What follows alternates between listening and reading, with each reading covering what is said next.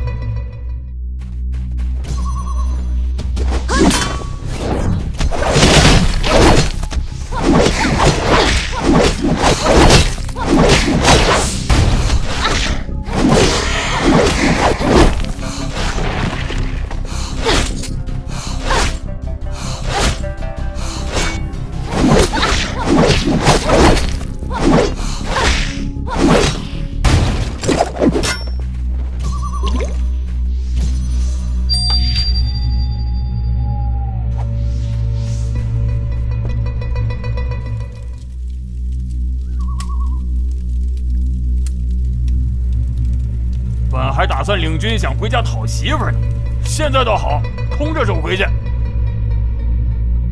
知足吧。溃败的时候，你看有多少人活着逃回来的？唉，刚开始咱们还有几百人，逃到这儿，咱们就剩就剩咱们几十个了。听说没回营的人，朝廷会通知乡里阵亡，没准家里以为咱们死了呢。现在想回营也为时已晚。主张，听说你家娘子貌美如花，现在归心似箭吧？嘿嘿，河西村人谁不知道楚家媳妇？这小子艳福不浅。不要取笑我了。